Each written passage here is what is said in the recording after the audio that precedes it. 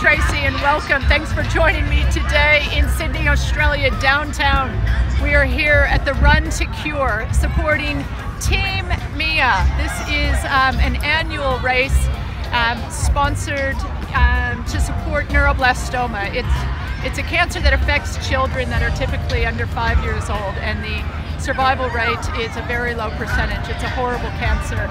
Um, we are friends with a family who has a daughter, Mia. She's survived neuroblastoma. We've been supporting this race for the past five years.